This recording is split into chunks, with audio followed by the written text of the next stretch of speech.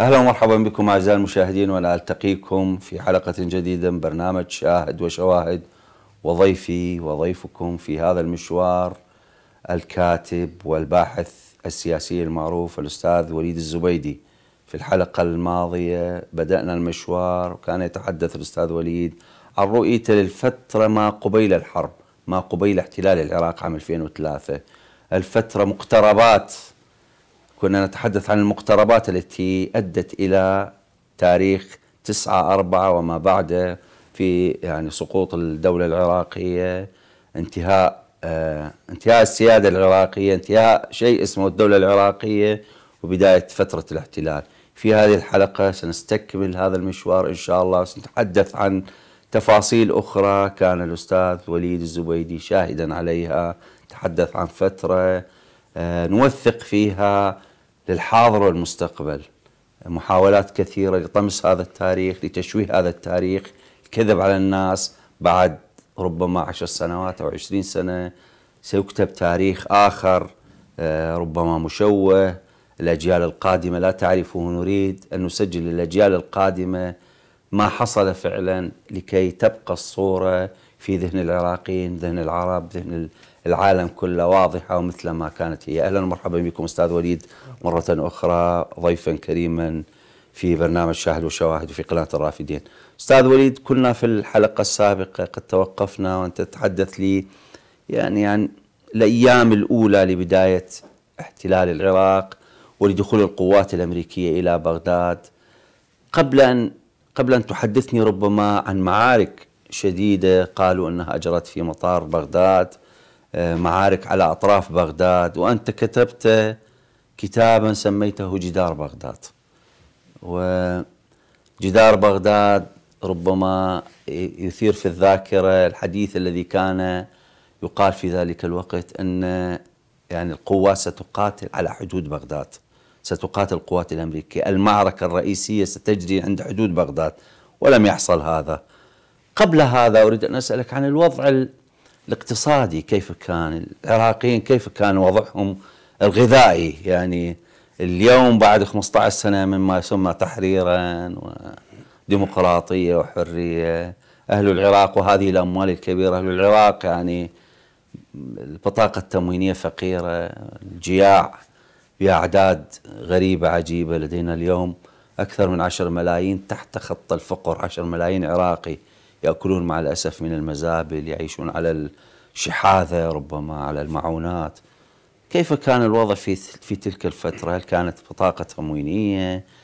شلون العراقيين مدبرين أمورهم؟ الأعمال كلها تكاد تكون قد توقفت في تلك الفترة، كيف كنت ترى الأمور بعين ال يعني الصحفي والإعلامي والعراقي بشكل بشكل عام؟ نعم. لنبدأ من نهاية يعني الحرب. نعم. فورا هناك مخاوف كثيرة من أن تحصل مجاعة أن وهناك أحاديث عن معونات كبيرة. كان في الأخبار الغربية أنه ستصل معونات كثيرة هذا قبل الحرب وأثناء الحرب. نعم. ولكن الذي حصل أنه لم يصل شيء من ما تحدثوا عنه من معونات. فأذكر أول مقابلة لي مع إذاعة البي بي سي بعد انتهاء الحرب. نعم. قلت هذه الجملة. قلت صواريخهم لقتل العراقيين تأتي مسرعة. ولكن ليس هناك معونات ولا أدوية لجرحى ومرضى. ولكن يعني للتأريخ وهذا تأريخ يجب أن يسجل أنه العراقيين قبل الحرب في الحصار وأثناء الحرب وبعدها لم يكونوا كما حال الكثيرين الآن جوعا قبل الحرب آه تم توزيع حصة من البطاقة التموينية التي يعرف كل من عاشها أن بعض منها كان العوائل تبيعها. نعم بعض مفرداتها بعض مفرداتها نعم. تزول. نعم. فوزارة التجارة وبجهود الدكتور محمد بهدي صالح الراوي نعم. وزعوا على العراقيين لستة أشهر. وهو يبدو أكو كان قياسات أنه ستة أشهر قد ينتصر فيها العراق أو تنتهي الحرب. كانت جزء من الحسابات. نعم. فتم توزيع بطاقة تموينية لدرجة أنه تكدست عند العوائل يعني كل مفردات البطاقة التموينية. وهي يعني آه، قضية البطاقة التموينية وكيف إدارتها في زمن حصار. قلنا بلد غني أرادوا أن يفقروه. آه، أيضا حقيقة آه، فيها يعني معجزة عراقية حقيقية. نعم. ولهذا أذكر يعني فيها كثير من الدروس الوطنية جميلة. نعم. نعم. أذكر قبل الحرب بفترة التقيت مع الدكتور محمد مهدي صالح وزير التجارة في مكتبه. نعم. وسألته السؤال التالي. يعني أنا كنت ملتقي به مرة أو مرتين يعني ما بيناتنا علاقة أو نعم. فسألته قلت له دكتور أني عائلتي ست نفرات من نروح نسوق لهم أدوخ. يعني الواحد عائلته تدوخ. نعم. فسؤالي أنتم شلون قدرتوا تدبرون تسوقون لكل العراقيين؟ هو مسواق الحقيقة نعم. يعني نعم. تجهيز العوائل بكل احتياجاتهم. نعم. هذا واحد. ثاني إحنا من آب 90 إلى 96 ما عندنا تصدير نفط ممنوع. نعم. واقتصاد العراق ريعي يعني 96 98% من واردات النفط. وأنتم تسوقون هاي الفترة كل هالسنوات لكل العراقيين. منين جبتوا فلوس؟ فهو جاوبني جواب أنا انزعجت. أنت انزعجت؟ أي طبعا. لماذا؟ نعم. وما هو الجواب؟ قال لي آه، أخ وليد المخابرات الأمريكية أرسلوا لي 11 صحفي. من السي اي اي سالوه نفس هذا السؤال وما جاوبته. قلت له دكتور أعتقد أنت تعرف أنا مو مخابرات أمريكية أنا عراقي هو شعر إنه هو يعني كان جوابه غير موفق. نعم. فاعتذر الرجل. قال لي وعليه أول واحد راح يعطيك المعلومة بعد أن يرفع الحصار لحضرتك. نعم. فاني هو طبعا سجن في وقتها اعتقلوه الأمريكان. واني ذكرت هاي الواقعه في جدار بغداد. نعم. قلت كذا وكذا وكذا. الكتاب وصل إلى المعتقلين ال- القيادة بال يعني في السجن كل القيادات. تبين وصلهم وقاري كلهم. نعم. يعني أستاذ طارق عزيز رحمه الله أرسل لي مع المحامين تحيات وكثير من المسؤولين. نعم. ومن ضمنهم سيادة الوزير محمد مهدي صالح. قبل ثلاث سنوات في عمان كانت مناسبة فاتحة ل- لأحد الأساتذة زوجته. وكان موجود الدكتور. نعم. فالتقينا. كان ناس. قال لي بس آه أنا كتبت بالكتاب قلت صار هكذا حديث ولكن بالتأكيد الآن هذا السر أعطاه دكتور محمد بالتحقيق للامريكان نعم. لأن يحققون على كل شيء. نعم. فايش قال لي؟ قال لي لا اكو شيء بكتابك خطأ. قلت له شنو دكتور؟ قال ما انطيتهم ولا سر ولا حكيت لهم عن هذا الموضوع نعم.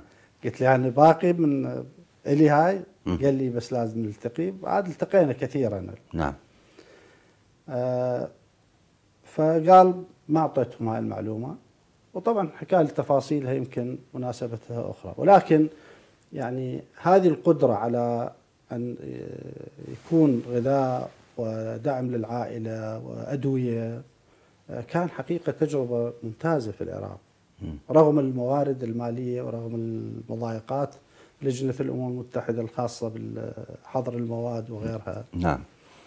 فهكذا كان الوضع. بعدين بدأ الوضع الأسعار تزداد والفقر يزداد وطبقة غنية من ال- ال- الحاكمين والأحزاب. وهذا الواقع يعني. نعم. أستاذ وليد بالعودة إلى إلى دخول القوات الأمريكية إلى بغداد. ربما كانت الدخول الأول إلى مطار بغداد كان واحدة من النقاط المهمة اللي يعني سعى كل الجيوش في دخولها إلى المدن تحاول أن تسيطر على العقد الرئيسية المطار آه، يعني مراكز الاتصالات مراكز النقل. آه، كيف كانت؟ كنا نسمع عن معارك شرسة جرت في مطار بغداد بين القوات العراقية وبالذات الحرس الجمهوري وكانوا فدائي صدام مع القوات الأمريكية كبدت في ذلك الوقت. قالوا أن كبدت القوات الأمريكية خسائر لكن لا أحد يعرف تفاصيل هذا الموضوع. الكثيرين يعني يتحدثون قصص كثيرة لا أحد يعرف نتيجتها وبالتالي دخلت القوات الأمريكية وصولا إلى يوم تسعة وأسقاط التمثال اللي كان رمز لاحتلال بغداد بهذه الطريقة وإعلان انتهاء الدولة العراقية بالشكل الذي رأيناه. كيف يعني كنت ترى هذه الأمور؟ يعني وأنت مراقب للساحة آه، تعمل في وسطها مطلوب منك إعداد تقارير مطلوب من عندك أن كعراقي أن تفهم الأمور وترى الأمور بشكل واضح وهذا ما نتحدث به اليوم. نعم. قصة المطار طبعا أحاديث كثيرة كانت. عنها أعتقد يعني كان الناس كثير أيضا من العراقيين يريدون أي قصة انتصار. لأنه الهزيمة السريعة حقيقة كان يعني كانت زلزال مر على العراقيين. فتردد كثيرا عن معارك شرسة في مطار آه، صدام في وقته آه، ضمن دراستي أنه أدرس الموضوع. فبحثت بالبداية أنا لدي معلومة أنه كان قليل يعرفوها في ذلك الوقت أنه القوات الأمريكية برية دخلت المطار وليس إنزال جوي كما يعتقد البعض. نعم. يعني فرقة مشاة ودبابات دخلوا المطار مساء يوم ثلاثة أربعة كان يوم خميس. نعم. فالتقيت بمسؤول في الخطوط الجوية العراقية. كان صديقي وسألته يعني شنو معلوماتكم عن هذا الموضوع قال كانوا ثلاثة خفر من الإعاش. كانوا بالأبراج مال الطيارات هاي المحمية فقصف طبعا. فقالوا الدنيا المغرب ليل صارت يعني. فدخلوا عليهم مجموعة. توقعوهم من الحرس يعني الحمايات أو شيء. فتبين يعني آه، أمريكان وياهم مترجم أما قطري أو كويتي. فشتفوهم طبعا وأخذوهم. قلت له كيف دخلوا؟ قال داخلين جايين طريق قرية المكاسب. وهد يعني هادمين الجدار مال المطار ودخلوا نعم. وسيطروا. حتى أكو وحدة حماية هناك ما قاومت آه، يوم أربعة آه، الأستاذ الصحاف كان وزير الإعلام محمد سعيد الصحاف. أعلن قال القوات الأمريكية تمكنت من موطئ قدم أو شيء من القبيل في مطار صدام. ونحن نحاصرهم داخل دباباتهم. قال ربما عن حديث عن أسلحة غير تقليدية أو أسلحة هذا العفو لاحقا. لاحقا. نعم نعم. يوم خمسة أربعة القوات الأمريكية عملوا مناورة. خرجت عدة دبابات من المطار في شارع المطار باتجاه آه، أم الطبول. نعم. واستداروا ورجعوا. يعني استداروا من تماثيل الشهداء الصباغ ومجموعته نعم. ورجعوا وكانت حتى سيارة كراون أو شيء ضربوها كان. وهاي أنا كنت أشاهدها نقل مباشر من الفوكس نيوز. نعم. فوكس نيوز كانت مخلية كاميرا خاصة بالبث المباشر على أول دبابة. نعم. وأظن على أخرى. المهم عندهم تصوير. فهاي كان يعني استعراض. فهمت بعد ذلك يوم خمسة القيادة برئاسة الرئيس صدام حسين م. وضعوا خطة لمعركة المطار يوم 6 4 وكان يعني بحدود الساعة 11 آه، جسر العامرية اللي يربط ليلا أم نهارا؟ لا نهارا يوم نعم. ستة. جسر العامرية اللي يربط بين العامرية وبين حي الجهاد نعم كان بهذا المكان موجود آه، الرئيس صدام حسين وعدي وقصي ولؤي آه، خير الله. وأعتقد واحد من أولاد آه، سبعاوي. وقائد الحرس الجمهوري ومجموعة. ومعهم صحفي كان يعمل وياي. يعرفوه كثيرين اسمه حسين المعاضي نعم. وكان يشغل منصب مدير تحرير مجلة الفدائيين. م. فسالته عن اللي حصل. هذا للتوثيق يعني وليس للإشاعات. فروى الآتي قال نعم قال الآن استدعوني حتى أكتب عن المعركة. وكان الرئيس صدام الله يرحمه يحمل بي كي سي نعم. أو آر بي جي يعني. فقال تم إرسال أول مجموعة من الفدائيين للمطار. بعد عباس بن فرناس ضرب ضربوا السيارة الأمريكان وحرقوها نعم. يعني حضرتك تعرف في مساحة قبل المطار الساحة الكبيرة جدا. نعم. مفتوحة. مكشوفة نعم. مكشوفة. فمن تكون دبابات هناك؟ نعم. مستحيل أنت تقدر توصلهم. راحت سيارة ثانية أيضا ضربوهم فأمر الرئيس بوقف يعني أي تقدم. الحرس الجمهوري لواء الصواريخ عميد ركن صالح الله يرحمه ذكر. لي هو كان آمر لواء الصواريخ في أبو غريب قال إحنا جتنا أوامر نقصف المطار بالصواريخ فقصفناه بسبع صواريخ أرض أرض بعدين قالوا لنا توقف استفسرت عن من طرف ثالث مم. يعني الرواية من طرف أريد طرف آخر الطرف الثالث بعثت استفسار يعني عن حلقات معقدة. الفريق سيف الدين الراوي. ذكرناه بالحلقة السابقة استفسار أنه أنت كنت موجود في يوم 6 4 على جسر العامري على الجسر العامري. نعم. ما الذي حصل؟ مم. فتطابقت الروايتان. أضاف لها قال ولكن كانت مجموعة من الحرس الخاص بعثهم الرئيس إلى منطقة القصور بالمكاسب مم. وكان يقودهم عقيد فلان وكان اتصال بين العقيد وبين شخص قريب من الرئيس فيسأل أنت وين يقول له بهيك مكان يقول له أوصف لي المكان مم. فبعدين آه، يبدو اقتنعوا أنه آه، ينهوا الموضوع. هناك معلومات تردد ولكن حقيقة ما توثقت منها. إنه الامريكان استخدموا اسلحه وأسلحة محرمة و آه، ما وصلت لأحد يأكد لي هاي يعني لحد الآن.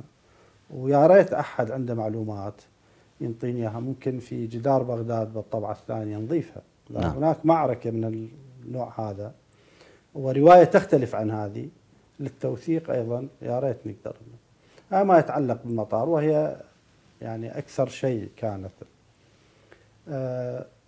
كان يوم 8 4 مم. ال- طبعا فجر 8 4 وقفت دبابه على جسر الجمهورية من جهة وزارة التخطيط نعم. تعرف حضرتك. نعم. اليوم اللي قصفوا به آه، مكتب آه، قناة الجزيرة نعم. وحوصر فريق آه، أبو ظبي لأن نعم. كانوا على نعم. على الشاطئ. وأيضا قصف به طابق 11 في فندق ال- المرديان ميريديان نعم. كان بها الصحفي الاسباني أعتقد. الإسباني أيضا. فكان دبابات بدت يعني تذهب أرتال. فأحد الضباط يروي لي كان مع الرئيس صدام الله يرحمه قال كنا آه، اثنين من الاتصالات الأمن الخاص والرئيس وطه ياسين رمضان الله يرحمه وبعض المجموعة ومعهم أيضا آه، الفريق سيف الدين فالرئيس صدام شايل آر بي جي وراح يريد يضرب الدبابة أو ضرب دبابة أمريكية. آه، في منطقة ال- اليرموك على الشارع يعني من جهة أم الطبول. قريب من أم الطبول. قريب نعم. من أم الطبول. نعم. فزعلان آه، طه سير رمضان الله يرحمه قال له سيدي إذا أنت تقاتل هذا شو نسوي؟ وما يصير يعني. مم. المهم يعني هذه أيضا قصة. إنه هذا يوم 8 4 ولكن تعرف حضرتك يوم 8 4 بدأت الأمور تتفكك يعني. يعني بدأت تغيب ملامح الدولة بشكل نعم. كامل.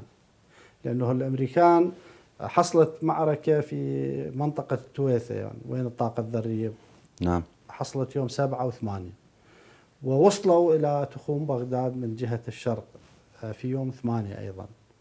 فبدأت الأمور يعني يعني ليس هناك أمل مثل ما يقولون كان الحديث يجري أنهم وصلوا في تلك المنطقة إلى المستشفى مستشفى الأمراض العقلية وفتحوا الأبواب وأطلقوا المرضى نعم. في هذا الشوارع وكانوا. يريدون يعني فوضى آه، يعني بالتأكيد. يشيعون الفوضى نعم. في هذا الاتجاه أستاذ وليد في تلك الفترة يعني كانت القوات الأمريكية تندفع باتجاه آه، وسط بغداد آه، آه، من الملامح اللي شاهدناها وربما تحدثني حضرتك عنها أنت كنت يعني تراقب. القو ال يعني تحدث عن غياب الدولة.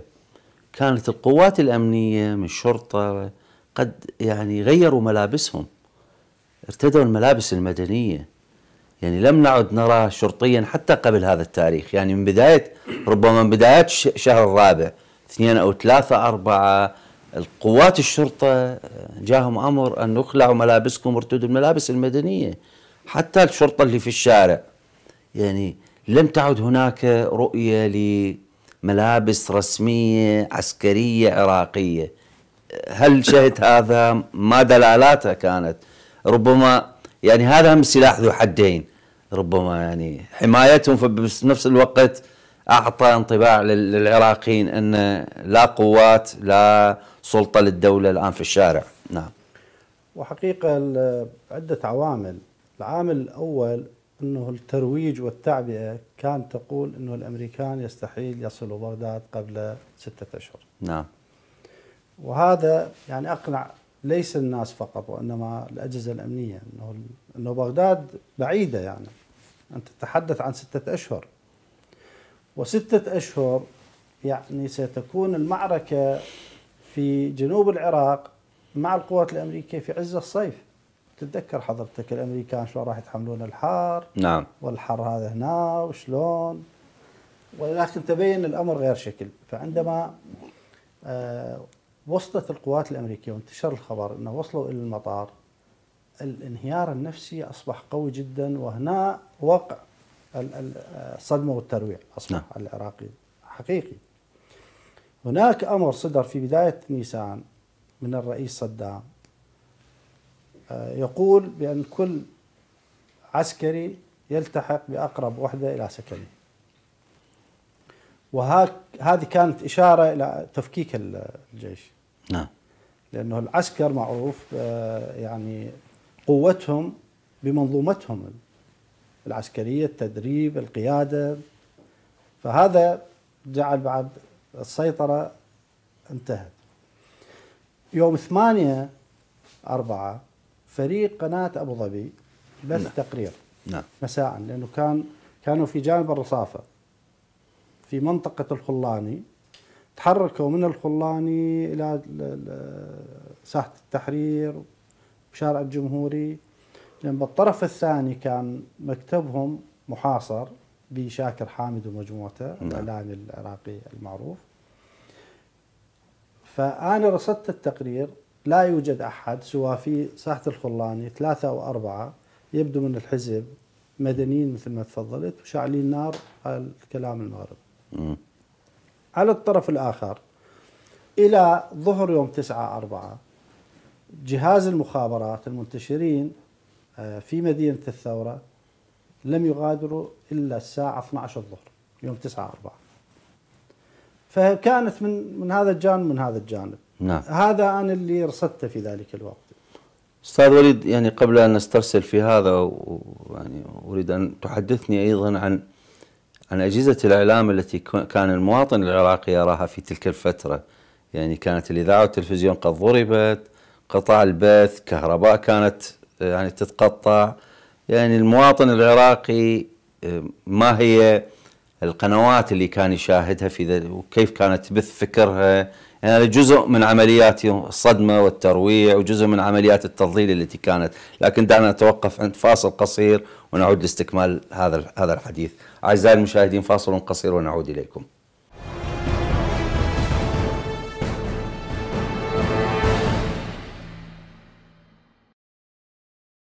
أعزائي المشاهدين أهلا ومرحبا بكم ونحن نستكمل الجزء الثاني من هذه الحلقة من برنامج شاهد وشواهد وضيفي وضيفكم الكاتب والباحث السياسي المعروف الأستاذ وليد الزبيدي. أستاذ وليد قبل الفاصل كنا نتحدث عن معركة المطار حدثتني عن معركة المطار وما جرى في تلك الفترة. يعني كيف ما هي روايتك عن هذه هذه المعركة؟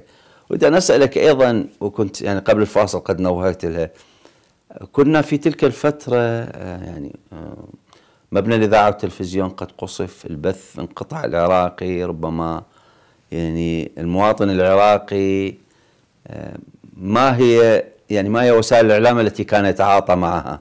كيف كنت ترى هذه الوسائل الإعلام؟ ما الذي تبثه؟ هل هو جزء من الدعاية للحرب وصولا لانهيار المواطن العراقي قبوله بالاحتلال أو استسلامه للاحتلال؟ أو قناعته أن الاحتلال قد حصل وانتهت الأمور وأن الدولة قد سقطت. ما هي وسائل الإعلام التي بقيت في العراق في ذلك الوقت؟ وكانت تبث للعراق ولماذا؟ يعني كانت ربما قناة العالم وهذه إيرانية معروفة كانت الناس أغلب الناس تتابعها وكانت قناة العربية. أليس كذلك؟ الواقع آه، يعني هنا يعني نوضح مسألة للمشاهدين الكرام. نعم. أنه العراق كان من الدول التي آه، تحظر استخدام الستلايت نعم. اللاقطة. نعم. ولكن كان يوجد بعض يعني بشكل سري وكانت هناك منظومة أطلقتها الحكومة قبل فترة من بداية الاحتلال. القصف دمر كل شيء. كانت هذه المنظومة خاصة يعني مو الكل يستخدموها. وكان فيها توسع. نعم بدأ يتوسعون نعم قنوات نعم, نعم. آه الذي حصل اللافت أنه قبيل الحرب انطلقت قناتان. نعم. قناة العربية وقناة العالم الإيرانية. نعم. قناة العربية تبث عبر الأقمار الصناعية. وعندما تم تدمير الأبراج والإذاعة والتلفزيون أو قصفها. توقف البث. آه، انتهى بث للعراقيين إلا من خلال قناة العالم. قناة العالم يبدو كان يعرفون الذي يحصل ووضعوا خطة بأن غالبية العراق الوسط والشرق والشريط الحدودي حتى بغداد وشمال نعم بغداد تستلم نعم. يشاهدون قناة العالم. بالبث الأرضي. على البث الأرضي على نعم. الهواء الأرضي. نعم. وكانوا يضعون من ضمن طبعا هم أطلقوا تسمية الحرب على العراق حرب السيطرة. نعم. كانت تظهر على الشاشة عنوان حرب السيطرة. وكانوا حاطين كاميرا مباشرة على أم قصر. ويتحدثون أيضا عن الصمود والانتصار بنفس الطريقة يعني. وتغطيات أخرى طبعا مناطق أخرى. وعندهم مراسل أيضا كان في بغداد يغطي قناة العالم. ويبدو أن هناك كانت مشاريع معدة سلفا لمرحلة الغزو وبعد الغزو. بعد الحرب بعد انتهاء الحرب مباشرة تعرف حضرتك أنه أول شيء انفتح على العراق هو الستلايت. نعم. فبدأ الستلايت يجلب القنوات وما فيها.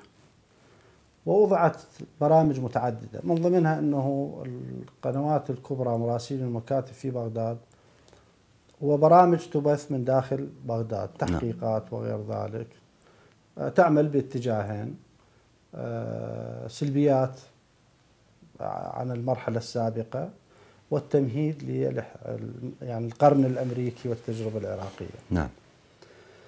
الأمر الآخر ظهرت فتحوا الأبواب الأمريكان بدعم لعدد كبير من الصحف والإذاعات بعد ذلك القنوات وكان طبعا القصد منها أن يوحوا للعالم أنه هناك ديمقراطية. نعم. ولكن أيضا ضمن المشروع هذا. الكوادر الصحفية اللي كانت موجودة العاملين في وزارة الإعلام آه، تم حرمانهم حلت وزارة الإعلام طبعا ومنعت عنهم الرواتب والقصد واضح أنه تلتحقون بالمؤسسات الجديدة. نعم. تنتقل الخبرة والعنوان إلى المؤسسات التي تروج للمشروع الجديد، الكثيرين ما قبلوا طبعا رفضوا والبعض اضطر يعني سواء هو يتماهى مع المشروع أو لأنه الحاجة اللي يحتاج معذورة أكيد. نعم. صار شيء آخر يعني ربما لا يعرف الكثيرون كان مجموعة خيرة ومهنيين من مراسلي الوكالات العالمية والصحف. وأنا كنت من ضمنهم. ولكن هناك أكثر مني أسماء معروفة ومشهورة مثل الأستاذ صبحي حداد. كان مراسل إذاعة البي بي سي. نعم. الأستاذ أحمد صبري مراسل إذاعة مونتي كارلو. الغريب أنه بعد المرحلة اللي تلت الاحتلال مباشرة بدأت مضايقات علينا. فتم فصل في وقت مبكر آه، عدد من المراسلين آه، غادروا مهنهم. انهاء عملهم نعم. أنا خلال أشهر كنت أعمل مع حدود سبع أو ثمان مؤسسات جميعهم قطعوا صلتهم بي كل المؤسسات اللي كنت تزودها بالأخبار والتقارير والمقابلات انتهت. قطعوا صلتهم وبعضهم طبعا صارحوني بشكل صريح. آه قالوا إحنا اسبوعيا يجي يزورنا أما السفير الأمريكي أو البريطاني. وأنت حاد في مواقفك جدا. كنت قد بدأت تظهر على على الفضائيات نعم. فضائيات والبي بي سي كانت البي بي سي مؤثرة كانت إذاعة فقط نعم. البي بي سي. فجاوبتهم قلت لهم أنا هذه قضيتي وقضيه بلد بلد محتل وطلعت مقاومة فمستحيل يعني. م. صارت مساومة حقيقة. قلت لهم آسف فبدأ يعني استغناء استغناء. ما أشوف إلا جايني على الإيميل آه، كتاب استغناء استغناء. فهذا الملامح اللي ظهرت. اللي إجوا جابوا كل المؤسسات كوادر غير مهنية. نعم. والأسف بهم أما هو غير وطني أو لا يفهم. أذكر لك مثال. نعم. مؤسسة كبيرة وخطيرة ومؤثره مثل البي بي سي. يفصلون الكوادر المهنية القديمة وإجوا بشباب آه، جدد بعضهم لا يعرفون شيء. يروح بث تقرير يقول حصل انفجار في المنطقة الفلانية آه، وهذه غالبية شيعية وهذه غالبية سنية. حصل انفجار على قرب قرب جامع. قرب حسينية. فرصدت أنا هذا الموضوع. هذا ما موجودة بلغتنا. ولا مهنية. ليش مو مهنية؟ يعني أنت ما عندك آه، نسب وتناسب والشيء حتى تقول هاي غالبا ما عندنا تقسيمات بهذا الشكل طائفية بهذا الشكل حتى لا اجتماعيا مقبولة ولا نعم. اعلاميا مهنيا. نعم. فالبي بي سي كانوا يستضيفوني اضطريت يوم رحت آه، زرتهم مو استضافة وطلبت اجتماع مع المراسلين. قلت لهم أخوان أنتم عراقيين هذا أنتم جاي تنفذون أجندة ومشروع لتقسيم العراق وتخريب المجتمع. أنت يعني ما مجبر صار انفجار بالمكان الفلاني. ليش تقول هاي حسينية للشيعة وهاي الجامع للسنة؟ فتبين يعني قالوا إنه تأتينا أوامر من من المصدر أو المركز. اذا هناك مشروع أن يعمل الصحفي العراقي في خدمة مشروع تقسيم وفتنة طائفية. وهذه استمرت كما تعرف حضرتك. يعني تحولت الفضائيات لهذا الاتجاه وصحف وكتاب آه، في عمل مؤسسة تهدم المجتمع العراقي. تحولت بغداد كلها إلى جدران بهذا الاتجاه أستاذ وليد. آه في مرحلة لاحقة طبعا. نعم أكيد. نعم. أريد العودة مرة أخرى أستاذ وليد إلى يوم تسعة أربعة. تسعة أربعة حتى في كتبك حضرتك أنت. يعني هذا اليوم فاصل لديك. مو لأنه دخلت القوات الأمريكية إلى بغداد بس فاصل بين آه، أعمال الرد والمواجهة وأعمال المقاومة. كان عندك فاصل. إذا تحدثني عن هذا اليوم القوات الأمريكية فجأة في وسط بغداد في منطقة يعني في وسط بغداد فعلا. فندق آه، يعني الشيراتون وفندق الميريديان والساحة اللي كانت جندي المجهول سابقا. في ذلك فيها تمثال آه، أسقط في ذلك الوقت أسقطت هذه الرمزية. إعلان كان واضح واضح جدا إلى انتهاء الدولة وبدء يعني مرحلة جديدة آه، ما سمي بالعراق الجديد. كيف كنت تنظر إلى تلك المرحلة؟ أين كنت أنت في تلك الأيام؟ أغلب الإعلاميين كانوا في فندق الميريديان يتجمعون. يعني القصص كلها كانت تخرج من هناك الوكالات كلها الفضائيات كلها كانت هناك. كيف يعني؟ تحدثني عن عن ذلك اليوم. ال- يعني ما زال يوما كئيبا حتى عندما نتحدث عنه تصيبنا الكآبة ونستذكره بكل حزن. نعم. الحقيقة قبل الحديث عن تسعة أربعة آه، الحرب هي حرب إعلام كانت. نعم. وحرب صورة. آه، مهمة كانت الصورة لهم. يعني ليس مصادفة أو اعتباطا أنه يتم إسقاط تمثال صدام حسين في أمام فندق المرديان هو واضح كل من يقرأ المراحل اللي سبقته أن هناك مخطط إعلامي وسياسي وعسكري. ولكن إذا تتذكر حضرتك. في وقت مبكر من بداية الحرب أعتقد بعد يومين أو ثلاثة أيام ما أعرف بالضبط. نعم. فريق سي ان ان القناة الأمريكية الأشهر قرر الانسحاب من بغداد وعبر عن مخاوفه من احتمال قصف مقرات الصحفيين. نعم. وفي الواقع هذا واضح جاهم توجيه إنه خوف الصحفيين.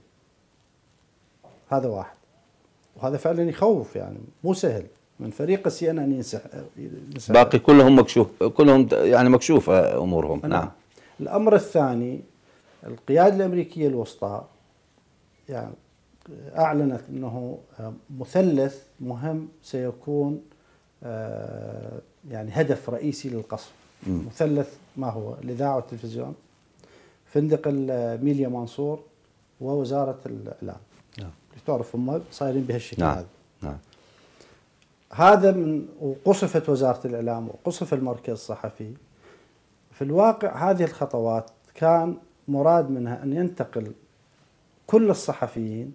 المركز الصحفي كله ينتقل إلى مكان آخر. المكان وين؟ المرديان. المرديان مطل على تمثال صدام حسين في ساحة الفردوس. نعم. فكان هذا حتى قصف قناة الجزيرة بالمناسبة يوم 8 4 نعم. لأنه قناة الجزيرة كانت الوحيدة هي وأبو ظبي على نهر دجلة. ما كانت نعم. ضمن هذا الفريق. نعم. ولكن كان هناك عدد هائل. مقابل وزارة التخطيط سابقا. نعم. نعم. نعم. ومقابل السنك من الصفحة الثانية. نعم. فكان كل قنوات العالم ووسائل الإعلام متمركزة آه، في فندق المرديان. فكان طبعا يوم سبعة أربعة. المعارك كانت في محيط فندق الرشيد. نعم. يوم ثمانية عندما أغلقت الدبابة الأمريكية جسر الجمهوري بمعنى أنه جانب الكرخ آه، انتهى. طبعا القصر الجمهوري خالي يوم ثمانية أربعة. نعم. يوم تسعة أربعة دخلت قوا دبابات أمريكية من شرق بغداد. وكانوا آه، يهيئون معهم بعض الناس للسرقة والنهب وال- اللي صارت في آه، بدت في مؤسسات وزارات في شارع فلسطين نعم. بعدين انتقلت إلى الم- الأماكن الأخرى فمن ظهر يوم آه، تسعة أربعة بدأ آه، انتشار للدبابات الأمريكية. أعتقد حدود ساعة خمسة آه، عصرا آه، أنا كنت أراقب المشهد بالستلايت نعم. خارج بغداد أنا كنت. فكان تهيؤ الصحفيين حركة لاحظ بث مباشر كل الفضائيات كان فإذا تتقدم الدبابة الأمريكية بالمشهد المعروف وتمت عملية إسقاط تمثال صدام حسين فأريد في هذه المسرحية المعدة سلفا أنه يقول للعالم الذي يتابع كل الفضائيات حرب عالمية كانت أنه هذه نهاية حقبة وبداية حقبة جديدة نعم حتى كان آه، رفع ال- العلم الأمريكي هو إشارة للحقبة الجديدة. فكان أشياء متكاملة حقيقه. آه، إلغاء مؤسسة ال- وزارة الإعلام ومؤسساتها وتجويع الكادر فيها، فتح أبواب جديدة حسب الخطة الأمريكية، إقصاء مهنيا عن العمل ونقل الصورة من العراق. آه، كل هذه حصلت يعني بعد أن انتهت ال- ال- ال- ال- القوة العسكرية مم. من صفحتها كان مهيئ للصفحة الثانية قنوات تبث على الأرض للعراقيين وقنوات أخرى تبث من خارج العراق فأصبح العراق حقيقة يعني والعراقيين آه، يعني ساحة مفتوحة يلتهمون الكثير وقلة من كان آه، يفرز الغث من السمين نعم. كان فعلا يوم فاصل يوم تسعة. في نفس الوقت يعني يمكن في هذا اليوم أيضا ظهرت صور للرئيس صدام حسين في مناطق في بغداد يحيي الناس عندما كانوا يسقطون التمثال ظهر في الأعظمية. كان معادلة غريبة عجيبة. المواطن في حيرة من أمره. ما الذي يجري يعني؟ وكان السؤال الكبير. نعم. عندما بدأت عمليات النهب في ذلك اليوم بدأت عمليات النهب عمليات الحرق.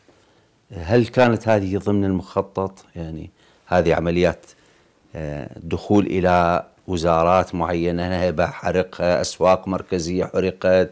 مخازن الأدوية مخازن الغذاء كلها بعض المخازن أنا شهدت بعض المخازن كانت الدبابات الأمريكية تكسر الأبواب تدعو الناس إلى الدخول. يعني هي كانت تشجعهم على السرقة. وشاهدنا هذه الفوضى كيف تصفها؟ ما الغاية من هذه الفوضى هذا النهب؟ هل كانوا يريدون أن يشيعوا أن الشعب العراقي مجرد مجاميع؟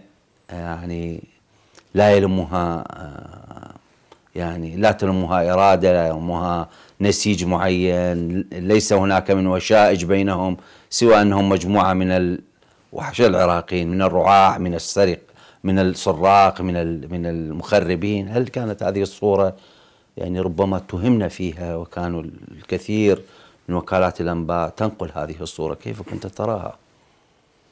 حقيقة يعني هناك صورة وهناك ما خلف الصورة. نعم. كانت المشاهد مؤلمة ولكن أيضا هذه يعني دخلت ضمن الدراسات الأمريكية للمجتمع العراقي اللي قدمت للمجتمع الأمريكان. هم أولا تعمدوا كسر المخازن. يعني هذا ليس من عندي. يعني بعد الحرب بأشهر آه، قال آه، دونالد رامسفيلد كان وزير الدفاع صرح بشكل رسمي ونشر توماس فريدمان الصحفي الأمريكي في نيويورك تايمز نعم قال آه، رامسفيلد بأن قواتنا هم الذين كسروا المخازن أمام العراقيين. أنا شاهدت واحدة منها المدرعة رجعت إلى الخلف وكسرت الباب كبيرة والناس كانوا يعني وكان الجندي الأمريكي يؤشر لهم بيده يدخلوا. نعم. هذه مستندة إلى دراسة أخرى.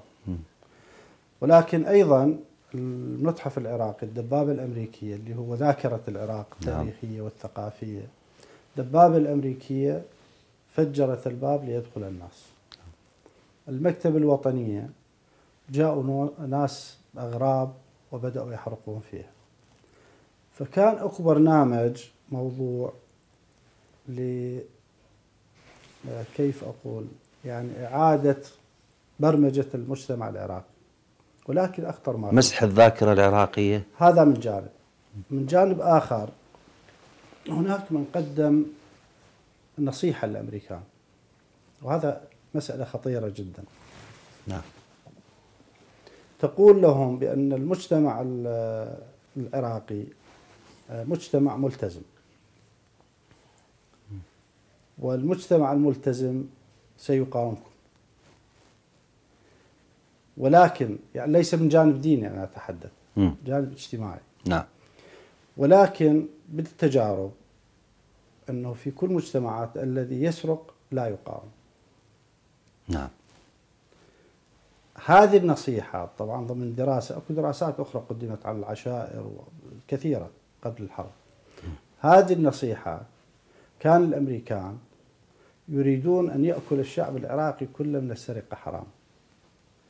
حقيقة أنا بعد أن يعني حصلت على تسريبات منها وضمن اهتمامي عملت شبه إحصاء يعني نعم. واستبيان في بعض المناطق وطبعا ليس في في بغداد وحدها في كثير من المناطق صار نهب يعني. نعم فأستطيع أجزم أن الذين يعني سرقوا أو نهبوا لم ينخرط أحد من أبنائهم في المقاومة. بالتأكيد. يعني هذه أدلة حضرتك إذا تسأل المنطقة الفلانية تقول لهم العوائل الفلانية اللي أخذت ونهبت أحد قاوم بها؟ يقولوا لك وهذا طبعا أمر خطير يعني. ولهذا رجال الدين والعلماء وكثير من الواجهات الاجتماعية والعلمية بسرعة تداركوا هذا الأمر. وصارت دعوات إنه توضع الأمور اللي نهبت في المساجد والجوامع والحسينيات. وامتلأت الحسينيات والجوامع. الناس بعد أن آه، انتبهوا إلى خطورة هذا كثير منهم أعادوها. وتعرف يعني بعدين تم الاحتفاظ بها واعطائها المحتاجين. أستاذ وليد هل يعني هل ما تم بأيدي عشوائية هكذا الناس يعني بدون تخطيط أم كانت هناك فرق تخطط؟ يعني هناك الكثير من السراق كانوا متخصصين بالسرقة. يعني ربما لم يعيدوا هذه الأشياء وكان يعني كل كل كل آه، همهم أن يسرقوا وكانوا يتحركون بهذا الاتجاه يعني. لم يكن هناك وازعا لا دينيا ولا اخلاقيا ولا مجتمعيا ولا في اي رابطة تعيد آه، تدفعهم لإعادة ما سرقوه. يعني كانت فرق تتحرك لجلب الآخرين. هو دكتور الحقيقة هو كان يعني ثلاث آه، توجهات. نعم. أكو كان مجاميع يعني وصلت العراق قبل قبيل الحرب أو أثناء الحرب وهذه كان مهمتها تسرق البنوك ويشرف نعم. عليها سياسي كان معارض معروف. وكانوا راسمينهم كلهم. أحمد الشلبي. أحمد الشلبي نعم. وهاي طبعا المعلومة حدثني بها مساعد مالته بعدين أيضا توفى محمد الزبيدي اللي كان أول محافظ لبغداد. نعم. ولاحقا ممكن أيضا نتحدث عن معلومات أخرى. نعم نعم. فقال إحنا دربنا مجال نعم. على آه، سرقة البنوك. دربوا. دربوا إنه هذا البنك بالمكان الفلاني يعرفون حتى بعض المعلومات عنه. وطبعا أكيد مو بس الشلبي يعني آخرين آه، يعني اشتغلوا على هذا الجانب. آه، هناك فريق آخر تخصص بسرقة اللوحات والأعمال الفنية والاثاري والآثار. نعم. وهذا طبعا بها جانبين جانب تجاري وجانب تخريب ولكن المخطط الأكبر أنه أن تروج بين الناس أنه هذه أموال حكومة رايحة حلال اخذوها نعم. هذا الخطر. اذا هذا أيضا وراء عقل يحرك.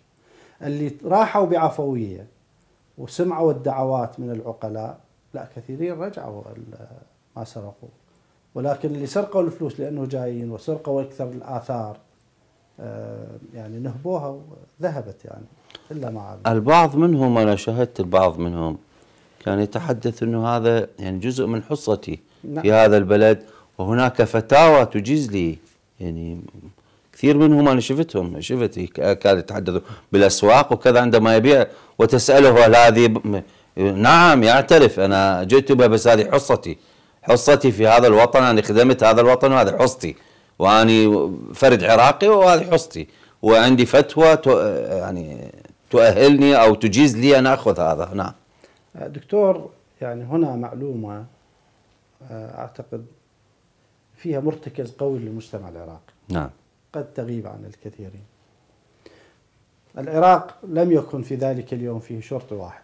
نعم. لا رجل أمن واحد. نهب في كل مكان. الناس لا تعرف ما الذي سيحصل. زلزال. ولكن كل هالعصابات اعتدت على الاملاك الخاصة مع الناس؟ ابدا.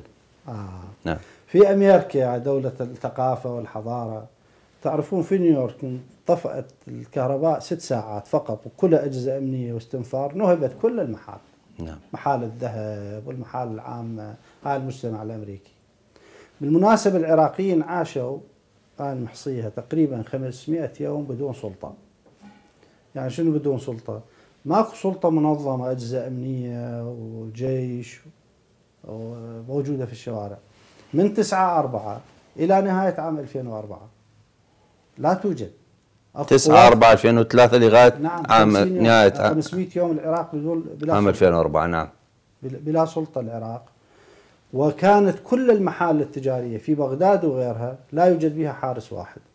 ما حصلت عملية سرقة واحدة لهذه المحال. الشورجة مثلا في بغداد شارع السعدون وغيرها. هذه أيضا يجب أن نتحدث. عندما نشاهد صور ل 50 30 واحد واحد ناهب له كرسي واحد ما أعرف إيش وكانه ها صورة العراقيين مو العراقيين ذول.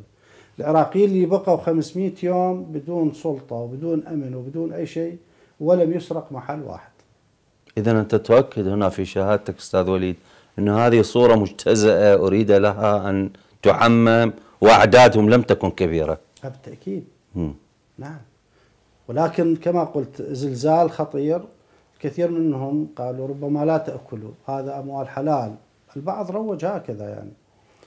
ولكن هل تجاوزت واحد بالمية؟ بالتأكيد لا. قلت في البداية كانت حرب إعلام وصورة. هذه الصور بقيت الفضائيات تردد فيها كل الفضائيات بدون استثناء. هذا يحمل كرسي وهذا مقتحم ما اعرف إيش وهذا ساحب كرويته وقنفه. هذه ركزت عند الناس إنه ذول العراقيين.